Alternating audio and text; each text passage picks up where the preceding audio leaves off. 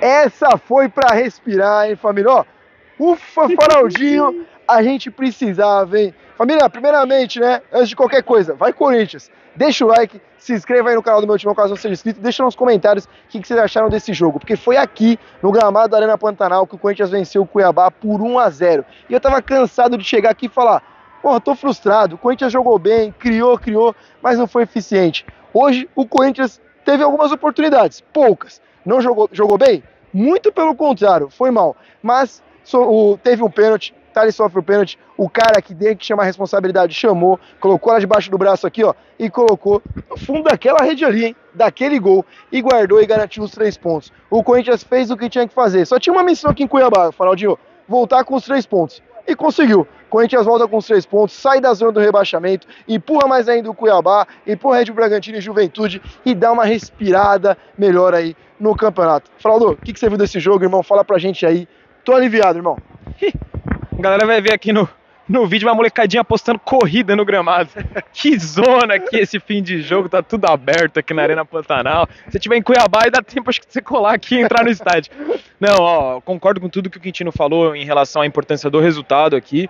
É, mas também ligo um sinal de alerta para a atuação, né? Acho que que bom que deu tudo certo, mas assim, que bom que o, que o Thales achou aquele pênalti ali no primeiro tempo e que o Memphis converteu.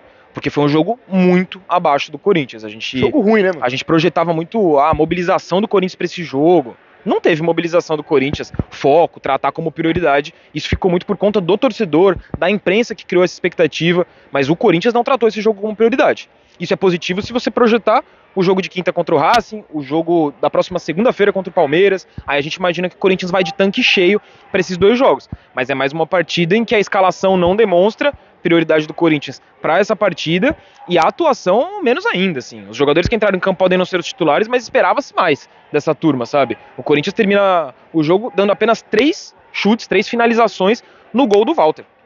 É, um cabeceio do Thales, a cobrança de pênalti do Memphis e um chute meio qualquer coisa ali do Raniel ainda no primeiro tempo de fora da área. É muito pouco para o Corinthians, que tem uma das maiores folhas salariais, contra o Cuiabá, um virtual rebaixado do Campeonato Brasileiro, por mais que o Cuiabá tenha dado a vida e tudo mais. É, mas fica esse sinal de alerta. Que bom que deu tudo certo, mas pelo que o Corinthians jogou, o Corinthians arriscou muito, muito. Na minha opinião, o Hugo foi o melhor jogador do Corinthians na partida, sabe? Assim, disparado. Então, quando o goleiro é eleito disparado o melhor em campo, por mais que o Memphis é que tenha ganhado a premiação aí da patrocinadora do campeonato, acho que liga um sinal de alerta. Então, faço essa observação e também destaco aqui algo que me chamou muita atenção, sei que também do Quintino, impressionante a quantidade de corintiano que marcou presença aqui. Não só no setor destinado à torcida do Corinthians, que é semelhante, né, igual aquele ali de cima, só que desse outro lado que vocês não estão vendo, tomado por torcedores do Corinthians, mas principalmente os infiltrados. O entorno do estádio, você olhando ali pela televisão, né, certamente, viu muita torcedor com camisa do Cuiabá. Malandro, a maioria era corintiano, com a camisa do Cuiabá. Fora os que tiraram a camisa do Cuiabá e tava com a do Corinthians por baixo, eu não sei se também se a transmissão mostrou para vocês. Então a ambientação era de uma Neoquímica Arena, o Corinthians jogou em casa. Isso é legal do ponto de vista da torcida, mas é mais um fator de preocupação, porque mesmo com essa ambientação favorável, o Corinthians não conseguiu ser dominante ali contra o Cuiabá. Faço essas observações, mas que bom que conseguimos os três pontos nesta sauna de cidade. Matheus Quintino, como tá quente em Cuiabá.